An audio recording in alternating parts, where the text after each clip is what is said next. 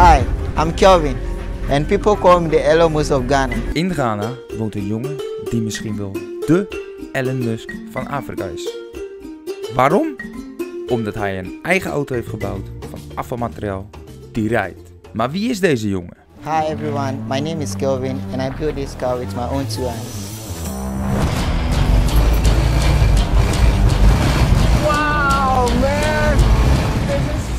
In dit kleine huis in Ghana woont Kelvin. Mocht het nog niet duidelijk zijn, Kelvin is arm. Hij groeit op in Ghana, waar een gemiddeld huishouden moet rondkomen van 300 euro per maand. Maar dat was geen reden voor Kelvin om te stoppen en zijn ambities op te geven.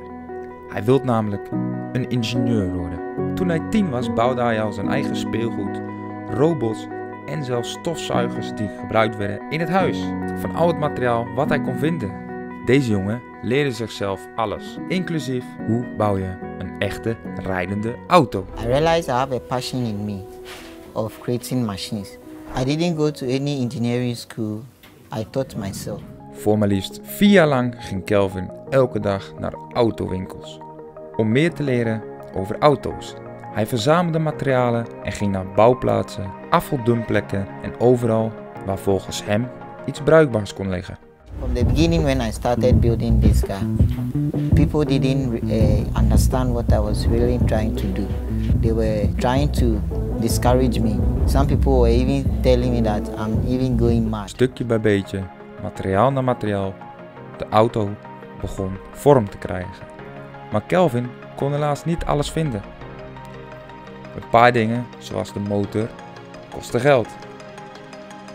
En eigenlijk meer dan zijn familie kon betalen. We are not rich enough to, for him to drive a car and maybe he will get any injured or he will hit somebody or something. Dus ging hij parttime werken. Sometimes helping the constructors building, selling scrap materials to get money. Om zo geld te verdienen om een motor te kopen voor zijn eigen auto. Vele mislukte pogingen verder was het Kelvin eindelijk gelukt. Zijn Kelvin mobiel was klaar. De deuren openen zoals een echte Ferrari.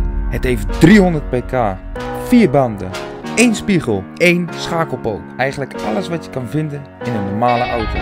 Zelfs een radio. Yes. You have music? Can I, does it work? Yeah, yeah, En hoeveel heeft het hem gekost? If I had to guess, it would be less than $3,000 in total. Nu is Kelvin de enige in zijn omgeving met een auto. En elke keer als hij een stukje gaat rijden, komt de hele buurt kijken. Anytime I take the car outside, many people feel excited and they would like to take pictures. En hij is niet van plan om hier te stoppen. In de toekomst wil Kelvin, net zoals Elon Musk, auto's maken die rijden op elektriciteit en die zelf kunnen rijden. My dream car is to build an electric car that will drive itself and also prevent accident injuries.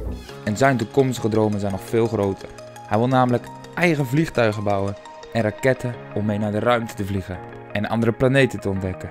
Moet je nagaan. Een jongen uit Ghana met geen geld die zonder hulp een eigen rijdende auto weet te bouwen. Als deze jongen niet in Ghana, maar in Amerika was geboren, had hij zeker bij Tesla gewerkt. Maar voor nu kun je hem vinden in Ghana, in zijn eigen werkplek, tussen de mensen waar hij van houdt. Bedankt voor het kijken. Vond je dit een leuke video? Doe dan een duimpje omhoog